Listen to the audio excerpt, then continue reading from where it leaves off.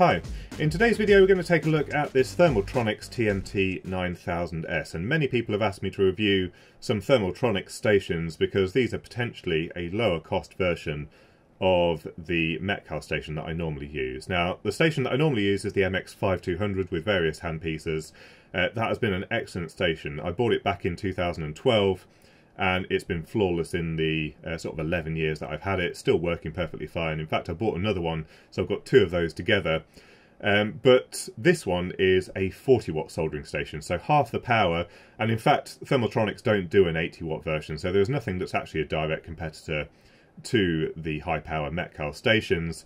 So this one is 40 watts, it's got two outputs, but it's only switchable between the two. You can't use them both together like you can on the MX5200. Uh, this one is still an RF heating technology. This particular model uses 13.56 megahertz, uh, just like the MX5200, and the high frequency means that the cartridges are much more compact. There is a lower frequency version that operates in the, I think it's 4 or 500 kilohertz range, uh, a bit like another range from Metcal, and those cartridges are a bit chunkier because they need to have a physically larger coil for that resonant frequency to be in the mid kilohertz range. Now, uh, in terms of cost, this unit uh, from most retailers seems to be about £540, including VAT. A few places are selling it a bit more expensive and a few a bit cheaper, but that seems to be the average price for this unit. So, certainly not a cheap system, and once you start adding cartridges in, obviously the cost starts bumping up. So, um, this actually is exactly the same price as the Metcal MX500, which I don't think I've done a video on. But this is basically the same station. It's got two outputs, switchable uh, digitally actually in this case. It doesn't have a toggle switch like this. You can't use both of these at the same time. But this is also a 40 watt station and you can buy exactly the same setup, a handpiece, cradle and the power supply itself for the same price. It's about 400 and, uh, sorry, 545 pounds, so five pound more expensive. But these units are pretty much identical in size They've both got that 2x16 LCD. And there's also a lot of similarities uh, between the systems. Now, unfortunately, I haven't got any packaging from any of the Metcal systems, but it's quite bizarre. They use exactly the same boxes. They've got these same silver stickers with the same font, so uh, I don't quite understand the link between the two. I'm assured that uh, Metcal don't manufacture these and it's completely separate operation, but the boxes are exactly the same. These stickers are the same. The lead-free sticker is exactly the same as well. So there must be something going on at the factory that means they share a few parts or something. Uh, but I'm assured they're very separate operations. So uh, what we'll do is we'll take a closer look at the individual parts. We'll take this unit apart and then we'll have a look at the soldering performance. But before we do that, uh, we're just going to have a quick segment from our sponsor for this video, PCBWay. So PCBWay is your one-stop shop for all your project needs. As you know, they offer a wide range of PCB manufacturing capabilities, including very cheap prototype PCBs, production level boards all the way up to 60 layers, and also rigid flex PCBs. They also offer PCB assembly services where you can get your entire PCB assembled with the components onto both sides of the PCB, as well as CNC fabrication. So don't forget to visit PCBWay.com. Starting with the handpiece, and immediately after taking it out of the bag, it does feel very, very lightweight and flimsy. Nothing like the Metcal. Um, here's the Metcal one uh, that's supposed to be its equivalent. You can see it's kind of similar in design, but this one is full aluminium body. It's got a nice attachment to the flexible cord grip.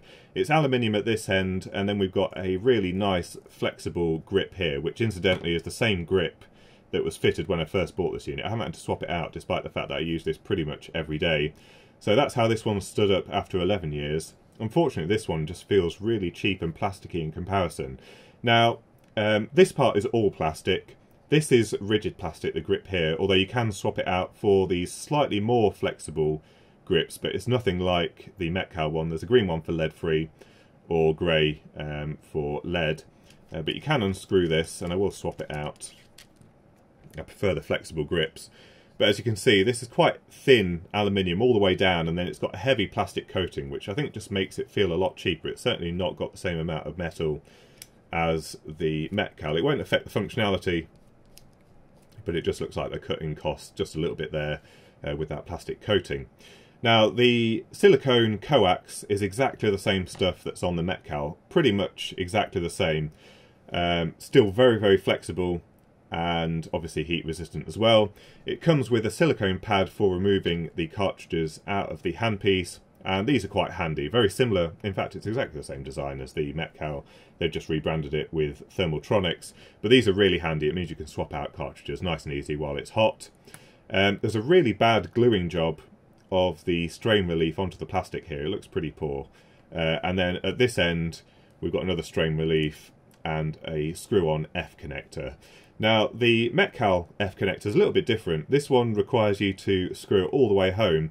The Metcal kind of had, has this quick connect where you can slide it on and then you just give it one full turn and it clamps it nice and tightly. So if you do swap out your handpieces fairly regularly, you know, if you've got a desolder gun and some tweezers and that kind of stuff, I think this will get on your nerves after a short period of time. But there's nothing stopping you, as far as I can see, using a Metcal handpiece on the Thermaltronics base station.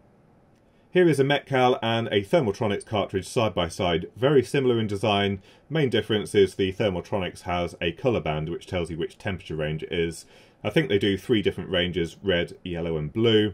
The Metcal, you have to look at the model number to work out which temperature range it is. But as you can see, it's got exactly the same connector on the end, very similar length, and in fact you can interchange these cartridges in the Metcal MX system and also with the Thermaltronics. Unfortunately, you can't use it in the connection validation system. That has the little chip in it to tell it which cartridge it is for the connection validation to work properly, but you can use these between the two uh, other stations. Uh, in terms of cost, very similar actually. Uh, the Metcal cartridges seem to have dropped in price. You can get these for a really good price on Farnell, often less than £25, and they do last really well. Uh, I've still got the same cartridge that I bought with the MX5200 all those years ago, it still works absolutely fine. Uh, I don't know about the Thermaltronics. I have got a couple of Thermaltronics cartridges, but they don't get used anywhere near as much, so I can't say how long they last. Um, but you should be fine. I, don't think uh, I've heard any complaints in particular about these failing early. We'll just see how these fit in the handpiece. I don't expect it to be any different from the Metcal, but they're free sliding up until about this point here, and then you just push it home and it grips it nice and tightly.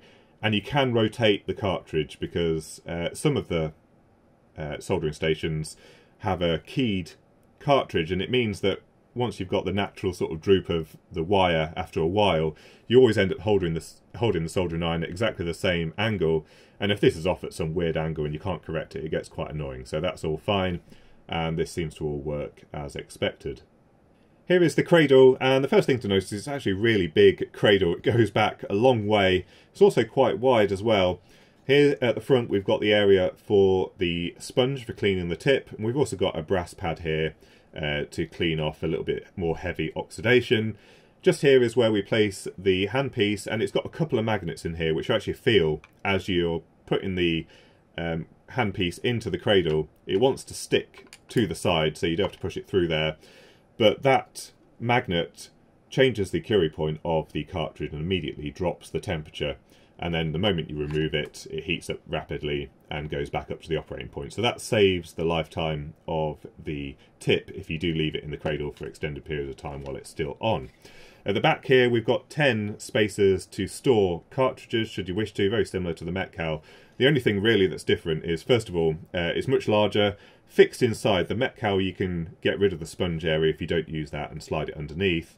And also, this has a fixed angle. On the Metcal, there's a, a thumb wheel, so you can adjust the angle that you place the handpiece into the cradle. This one is fixed at that 45 degrees. Here is the power supply, and this thing is very heavy, so there is a proper transformer in here. The whole thing feels quite well built. It's all made from cast aluminium, as you can see at the back here. Not been painted particularly well, uh, but overall it looks okay. There's a few fit and finish issues. I'll zoom in on those in a moment. Uh, but generally it feels like it's built like a tank, just like the Metcals are. Uh, we've got the screws all the way through. We've got an IEC connector, a small fuse, 0.5 amps, so obviously that points towards it not being a switcher in here, otherwise we'd have something a bit bigger to cope with the inrush current. Uh, but yeah, made in China, just like the Metcal. Single input voltage, 220 to 240. There is a 110 volt version available as well for those in America. Uh, but that's the back. At the bottom, we've just got a tamper sticker. On the front, we've got the power switch. Um, that's the same power switch that we've got on the Metcal, as you can see there in the same location. We've got the same 2x16 blue LCD, although we do have an addition of an LED here. And then we've got the two F connectors with a switch to switch between the two.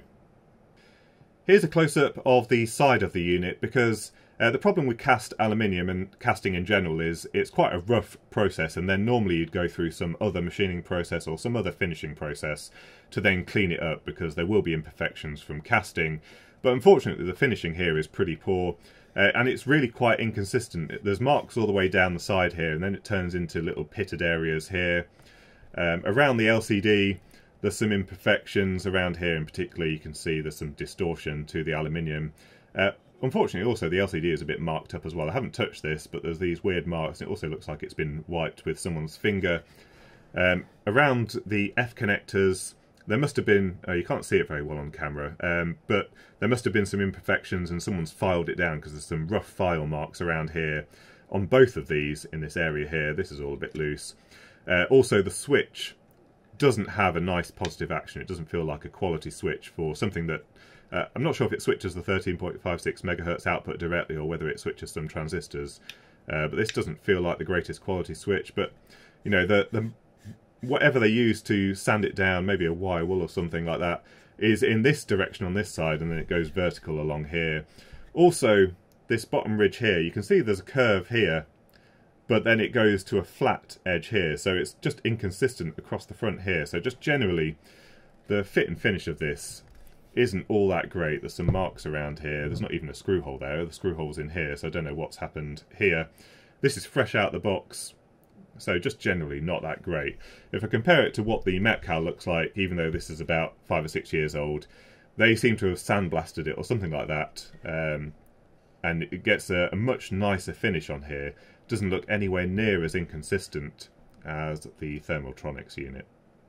This is what the unit looks like inside. So we've got two main PCBs. Obviously the one at the bottom here is the power PCB that's got the amplifier and the 13.56 megahertz resonant generator. We can see all the switching transistors and those inductors on there. Some big capacitors at the back there. Um, and I imagine this is very similar to the design uh, that we've seen. I think there's a design on the EEVblog forum where someone's traced out the old MX500, um, probably very similar in design to that. Now we've got the big mains transformer at the bottom here, and it does look like we've got all of the primary taps. So if you bought the 110 volt version, it just looks like it'd be wired slightly differently. You can see the series connection there for the transformer in this 240 volt region. Uh, but that's good news. If you ended up with the wrong version or you moved house or something like that, you can reconnect this as per your supply voltage. And uh, we've got a filtered IEC connector. We've got double sleeved wiring for the mains. Goes off to the fuse and also goes off to the power switch. One thing that happened on the early MX500s is for some reason the power switch was on the uh, secondary side of the transformer, so the transformer was always energized. That's not the case on this unit here. Uh, but yeah, this is very heavyweight owing to that very large transformer. Now there is another board at the top here which has a microcontroller on here, but as far as I'm aware, the microcontroller doesn't actually do anything useful. It just drives the display and possibly changes the sleep time. I'm not sure if this one has an actual sleep timeout.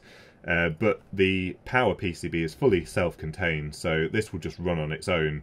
Doesn't need any input from this board at the top. So this board at the top is really just for displaying the amount of power being delivered to the handpiece.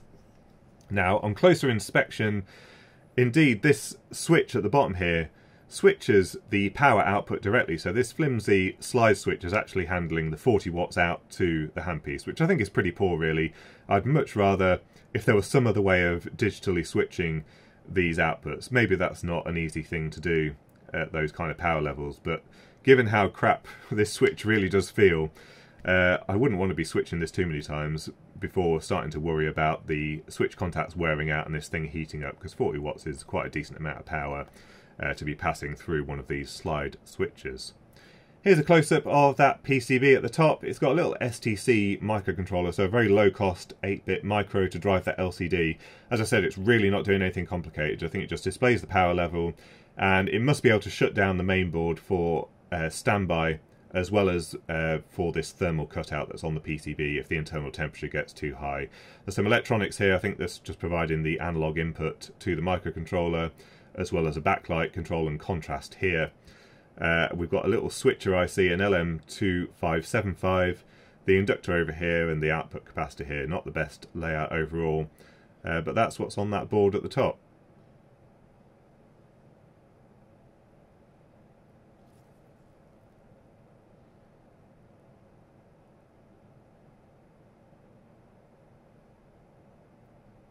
Right, let's power this up for the first time. Let's turn it on at the top.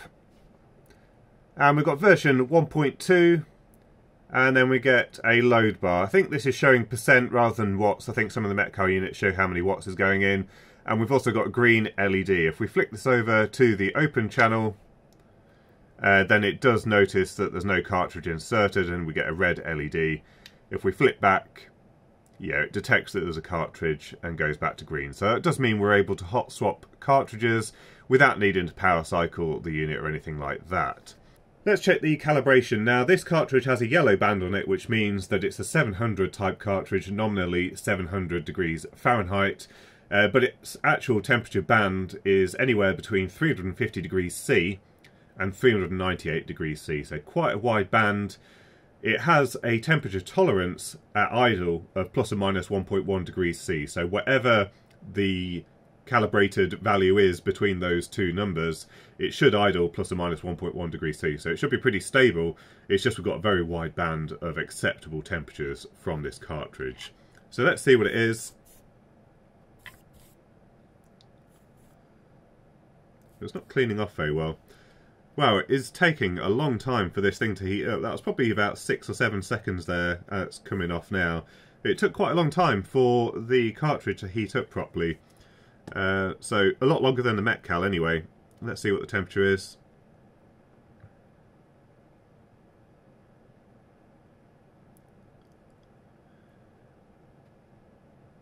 So 386 degrees C. If I add a bit more solder, we do see that drop and then climb back up to 386, 387. We just caught at the end there. So, um, yeah, actually quite a hot cartridge. It's probably fine for lead free, a little bit on the warm side for lead. Uh, that does mean on some of the soldering tests that we might just quickly do now, uh, this might actually have an easier job with it being set at a higher temperature. We'll be able to dump a bit more power into it, but let's see how it performs.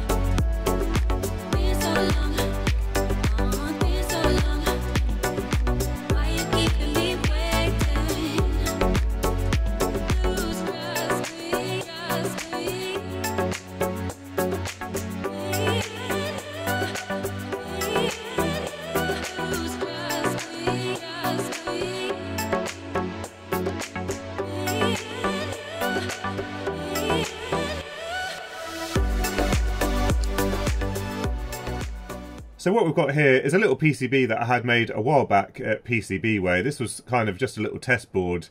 Uh, this is the first time I've actually got around to using it, but the idea is that we've got some heavy ground planes stitched together, and we've got one pad here that we place the soldering iron on, and then we've got uh, some temperature sensors on the board. And the idea is that we're measuring the amount of heat that is able to dissipate in this PCB from placing the soldering iron on this pad here.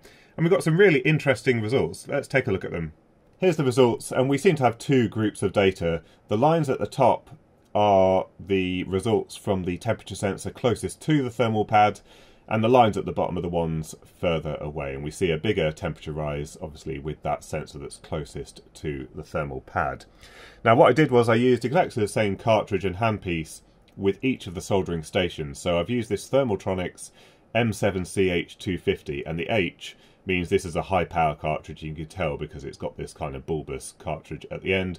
I used the same handpiece, and I plugged this into the Thermaltronics into the Metcal MX500 and the Metcal MX5 And the results are showing that Thermaltronics is not delivering as much power as either of the Metcal systems. You can see the Thermaltronics is this line at the bottom here, and similarly the orange line at the bottom here.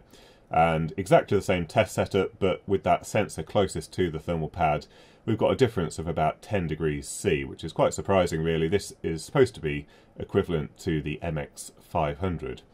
What's also quite interesting is the MX500 is delivering pretty much the same amount of power as the MX5200. So that 80 watt system is not able to deliver much more than the 40 watts that the MX500 is delivering. I think that's a limitation of the cartridge. If you recall, Metcal more recently released a special handpiece, the High Thermal Demand, which has some um, optimizations in the passives that are in the barrel here and it's been optimized to use with these high power cartridges. And I think the idea is that really these small cartridges can't be used with higher powers. Um, and so you'll get very similar soldering performance with the MX500 and the MX5200 with the normal cartridges.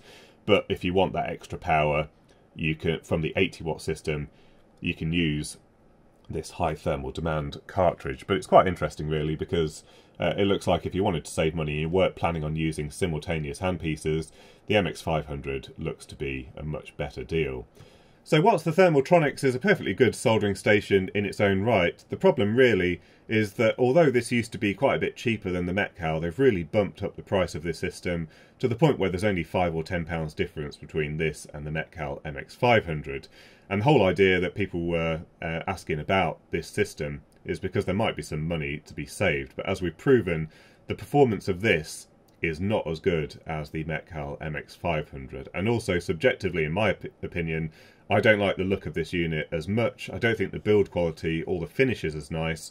I wasn't particularly fond of the cradle, and also the handpiece itself feels a bit flimsy, so at which point you may as well just get the Metcal in the first place. Now, if you did happen to find one on eBay, even if you found a US version, uh, you can uh, change the taps on the transformer and use it, and it would be a perfectly good soldering station. It just doesn't quite have the performance when you're pricing it pretty much exactly the same as the Metcal. So that's just my thoughts. Let me know what your thoughts are in the comments section down below. A big thank you to PCBWay for sponsoring this video. And if you've got any suggestions for future soldering stations that some of you are interested in having reviewed, then I can take a look at those if you put those in the comment section down below as well. But I hope you enjoyed the video, and until next time, thanks for watching.